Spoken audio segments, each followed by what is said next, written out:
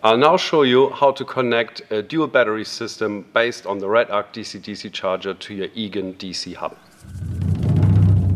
What you do is you can connect your DC-DC charger directly to the DC hub without going to a battery.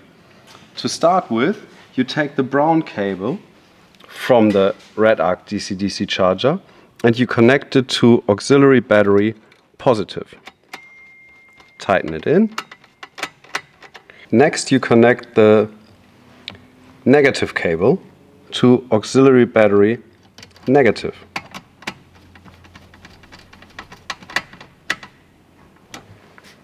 Then you take the red cable and you will connect that to charger input. The yellow cable to the solar input. Please refer to the manual for the proper torque settings for the connectors. These cables are not connected directly to your DC hub. Please refer to your RedArc user manual for proper connection of these cables.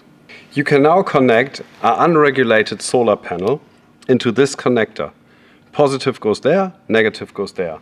This solar panel will now use the regulator that is built into your RedArc DC-DC charger.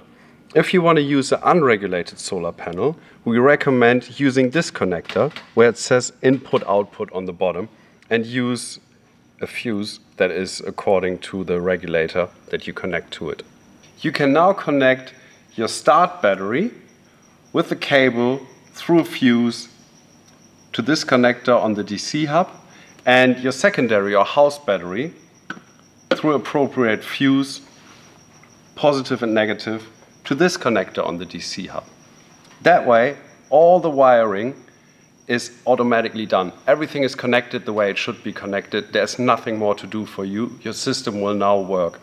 Please refer to the user manual of the DC-DC charger for the right fuse.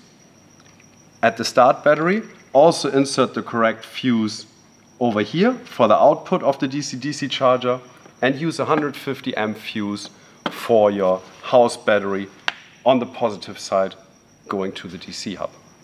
Your installation is now done.